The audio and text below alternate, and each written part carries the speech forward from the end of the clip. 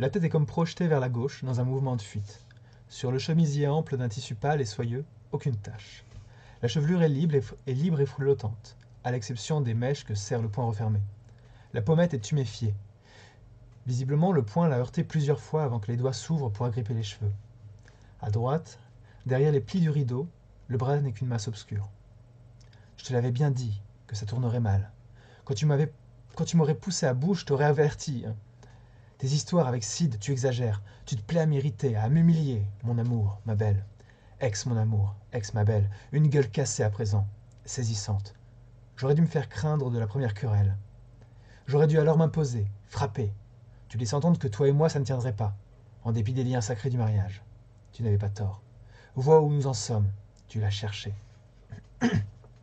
Œil mi-clos, paupières gonflées, longs cils mouillés, englués, le sang suinte au travers. Bouche meurtrie. Les mâchoires se contractent. Sur des dents brisées, peut-être. Tendons du cou raides comme des cordages. Traînées d'écarlate jusqu'au lobe de l'oreille. Je t'avais prévenu. Pourquoi n'écoutes-tu jamais quand je parle, que je m'adresse à toi calmement? La crise me prend et c'est trop tard. Ma colère, tu t'en fiches. Tu me nargues avec cet argent que tu gagnes pour compléter mon salaire. Le CID exige de ces modèles une docilité parfaite. Mais tu dis qu'il est généreux. Au prix qu'il te paie, j'ai vite compris que la séance d'atelier se prolongeait dans son lit. De ce que j'entends raconter ici et là, rien ne m'étonne. J'ai toujours trouvé faucheton, ce mec. Il a une sale gueule. Ta gueule à toi, c'est le désastre. J'y suis allé un peu fort. La prochaine fois que ton boss t'engage, tu te méfieras. Consciente de ce qui t'attend lorsque tu m'auras froidement balancé tes arrangements, tes calculs, tes combines. L'attrait du fric en abondance. Avec une prime exceptionnelle, les jours de barbouillage outrancier, de maquillage brutal, au vu d'effets tragiques, ce grand seigneur, rien ne l'arrête. Essuie-toi, ça va tomber sur le tapis. Rouge le tapis, par chance. Un tapis blanc ou beige ou gris, bonjour les dégâts, parce que le sang résiste au décatachant, paraît-il. Toi qui veux une maison impeccable, toi qui passes, au retour de la pause, des, des heures en asticage, j'ai peine à t'imaginer soudain te moquant de tout saloper, gâchant notre dessus de lit tricoté par ta mère, deux boucles aplaties collées contre le crâne. La tempe étoilée de carmin. La joue fendue, déchirée. Les lèvres gonflées, pour être des lèvres mordues dans un accès d'angoisse. Des lèvres qu'enfle un trop violent désir. Peau martelée, striée d'estafilade, où se reconnaît un travail des ongles. Cette nuit d'il y a dix ans, notre première nuit, la nuit de souviens-toi que tu n'as pas saigné. Si nous avions suivi les rites, respecté l'ancienne tradition du drap de lit à la fenêtre au premier matin de notre vie de couple, tu aurais connu la honte. Je n'ai rien dit. À quoi bon?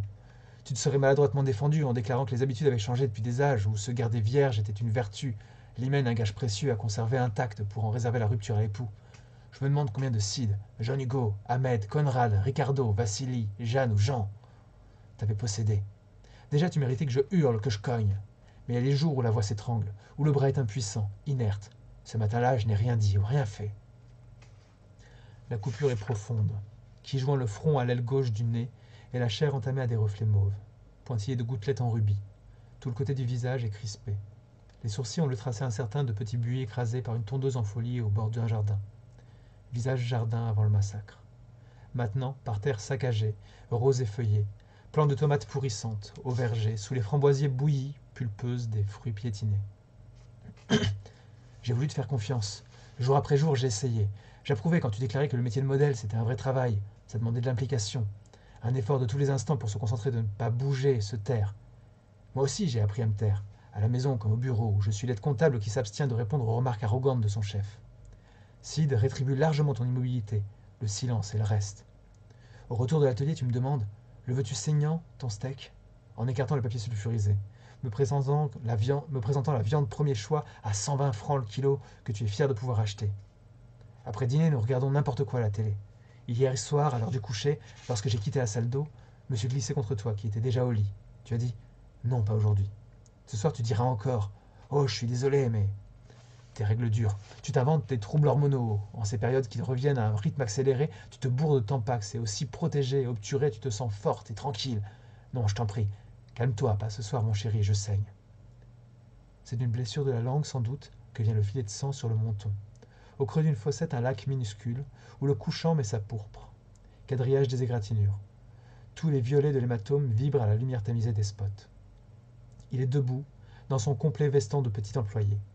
Il reste immobile face au mur. Il est entré par hasard, à 19h50. La galerie ferme à 20h. Il regarde. Bloody Hell Fist, par Sidney Goodman. La tête dessinée d'un trait appuyé est projetée à gauche dans un mouvement de fuite. Le chemisier n'est pas taché. Gouache et fusain sur papier. Double biseau, méplat noir.